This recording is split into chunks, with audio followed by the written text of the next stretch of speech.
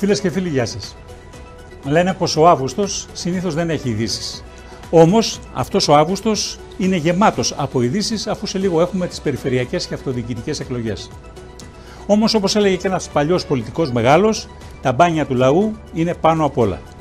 Γι' αυτό λοιπόν, όσοι μπορείτε, απολαύστε τις διακοπές σας, γεμίστε τις μπαταρίες σας και καλή επιστροφή.